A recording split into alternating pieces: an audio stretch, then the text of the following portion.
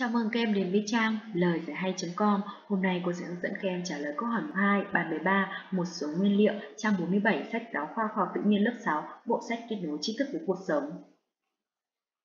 Đầu tiên ta sẽ đến với hoạt động mục 2. Chúng ta cần chuẩn bị một viên đá vôi, dung dịch hydrochloric acid hay có tên gọi là axit chlorhydric, một ống hút hoặc pipette, một chiếc đĩa, một chiếc đinh sắt. Ta sẽ tiến hành một Dùng đinh sắt vạch mạnh lên bề mặt viên đá vôi, quan sát hiện tượng. 2. Lấy ống hút hoặc bếp nhỏ từng giọt hydrochloric acid lên một viên đá vôi và quan sát hiện tượng.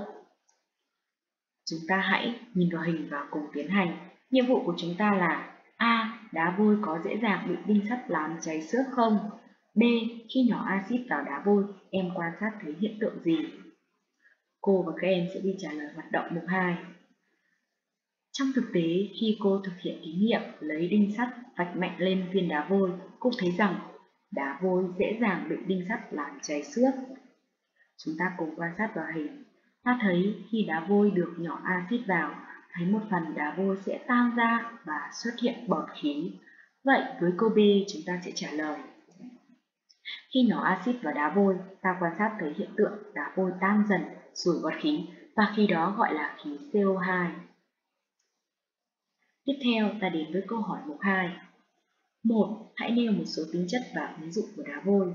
2. Tìm hiểu và cho biết tác hại của việc khai thác đá vôi đối với môi trường. Có hai câu hỏi cho nên cô và các em sẽ đi trả lời lần lượt từng câu hỏi một. Câu đầu tiên là nêu tính chất và ứng dụng của đá vôi. Đây là hình ảnh đá vôi với công thức hóa học là CaCO3.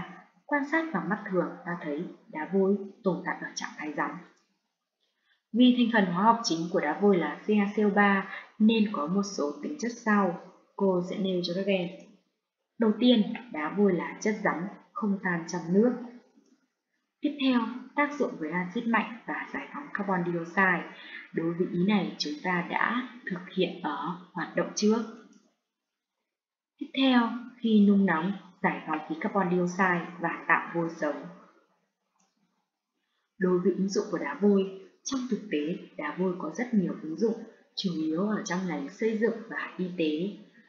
Dãy núi đá vôi của nước chúng ta tập trung ở các tỉnh Ninh Bình, Quảng Ninh, Đà Nẵng, Kiên Giang. Vậy, ứng dụng của đá vôi như thế nào? Đầu tiên, được sử dụng nhiều trong các ngành công nghiệp xây dựng cẩm thạch, ví dụ như là sản xuất xi măng hay là sản xuất vôi. Tiếp theo, được sử dụng nhiều trong ngành sơn, là chất xử lý môi trường nước.